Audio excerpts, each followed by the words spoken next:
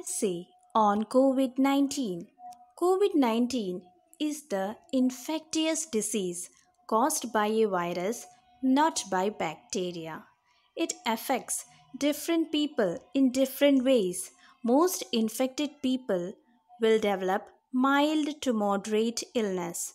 It spreads primarily through droplets generated when an infected person coughs or sneezes or through discharge from the nose. The virus was first reported officially from Wuhan City, China in December 2019.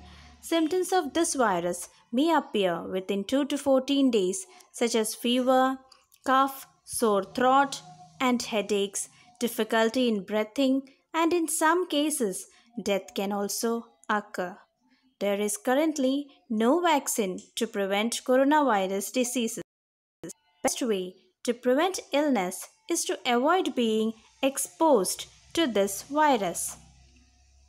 People who are in close contact within 1 meter with an infected person can catch COVID 19 when those infectious droplets get into their mouth, nose, or eyes.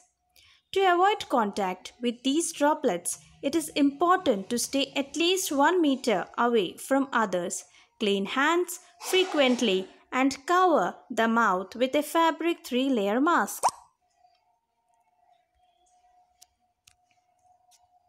In case of doubts, self quarantine can help to stop spreading virus, which involves using soaps for washing hands frequently, not sharing things like towels and utensils, staying at homes, not having visitors, staying at least 6 feet away from other people in household for at least 14 days. These measures will help us to keep COVID away. Let's fight COVID 19 together.